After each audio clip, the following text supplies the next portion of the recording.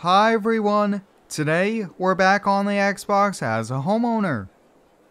It's a beautiful morning here in Griffin, Indiana. I stopped by local farmer's market to pick up a fresh dozen eggs, and I also stopped by the local hardware store. So why don't we hop back in the Lizard XJ, get on back to house, and get going on a few projects. Driving this old XJ around town is quite a bit of fun, especially being a manual here. But up on the roof, you guys can see I got a new tow recovery rope, which is going to be perfect for off-roading here. Uh, one of my buddies and I took this off-roading last week, and we had a lot of fun here. But having a tow rope uh, will be helpful just in case we get stuck. And actually, I was helping someone else get unstuck on the trails there, which is uh, quite a bit of a challenge, but we were able to help the person out. If you guys end up enjoying today's video, help me out by hitting the like button. And all the mods featured in today's video are public and can be found on the in-game mod hub. We're just now getting back here to house and the grass guys is looking awesome here. I mean take a look at that, no weeds. And I mean it looks really good here. Put a little bit of fertilizer down but really quickly guys, I do want to say that the local farmer came over and asked if I was willing to sell the property. He He's looking to buy a new farmhouse and he really did like it. So let me know down below guys, should we end up selling and uh, moving and building a new house? Let me know your feedback down below here. But one thing guys that I am super super excited for here is that we actually had a lot of new uh, mods arrive in boxes here for the TLX 1982.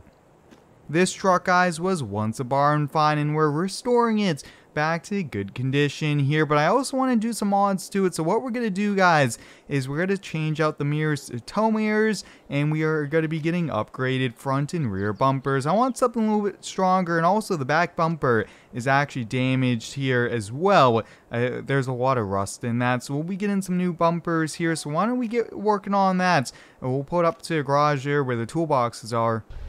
This old truck is a lot of fun to work on here. I put a new battery in it, uh, went through the truck, and this starts up on the first crank here. But I'm going to run to a toolbox here that's in the front of the truck. I'm going to get this rolled outside, and this has all the wrenches here, and the boxes are on the other side of the garage. So let's put the new bumpers on. It took a few hours, but we're all set. Wow, take a look at that guys, these bumpers really did change the look of the front of the truck here. I really do like the off-road bumper with the winch and those extra uh, kind of tow hooks hanging there. We did get some extra lights here, which is really going to help us on out.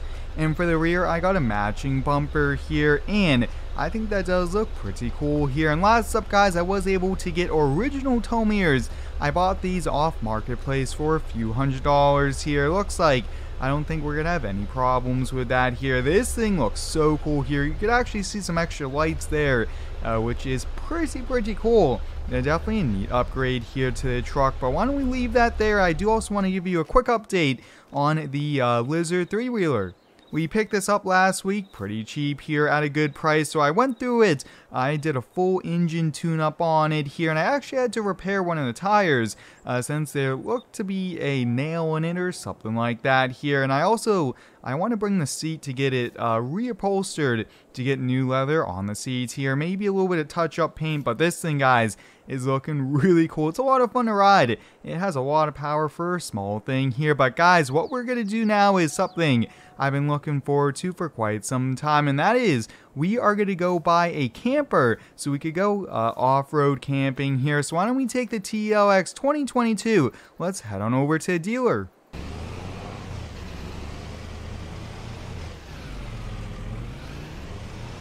Camping is a lot of fun here and I've been looking for the right camper here. I want something that we could take on off-road trails, something with good ground clearance, but also not something too big here where we need an even bigger truck for. And I think this is it guys. And uh, this is super exciting here because I really want to go camping as springs here in the uh, dirt bike tracks and all those different trails are going to be opening up here for us and we're going to have a lot of fun uh, this summer.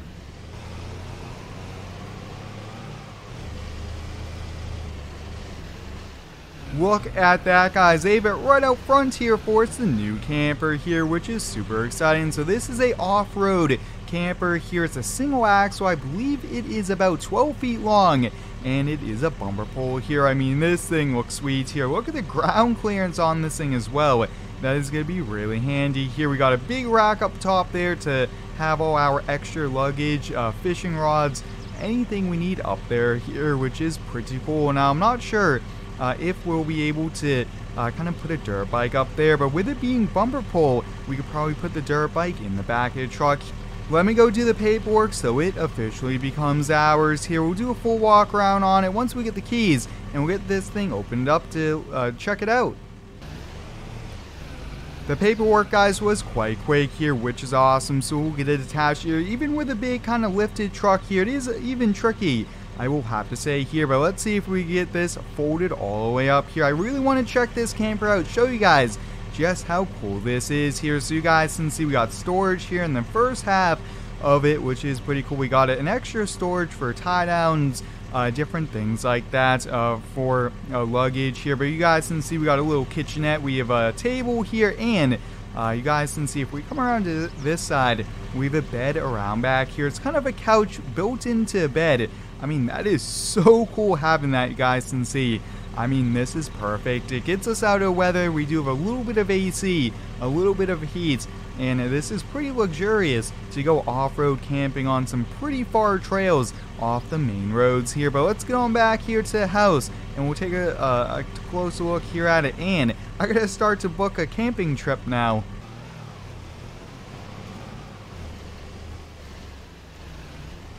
I hope everyone's been having a pretty good day here so far. Drop how it is going down below here. My day's been pretty awesome.